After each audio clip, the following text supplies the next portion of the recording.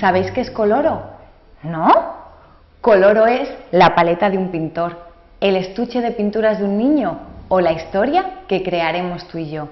Vamos a ver. Detrás de mamá pata y sonriendo como un pillo está el pollito de color amarillo, verde, verderol, sapito, glotón, azul, rosa o rojo manzana sabrosa. Mm. El mono marrón, gris el hipopótamo blanco polar, blancos y negros, los pingüinos se marchan al compás, al compás, al compás.